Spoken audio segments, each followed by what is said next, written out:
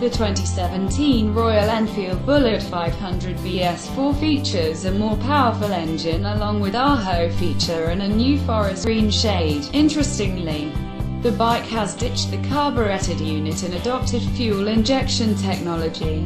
This makes it more powerful and efficient than the old BS3 motor. Read 2017 Royal Enfield Himalayan FI coming soon. The 2017 Re Bullet 500 derives its power from a BS4 499cc single-cylinder, four-stroke air-cooled engine, which is now boosted with fuel injection technology instead of the carbureted system.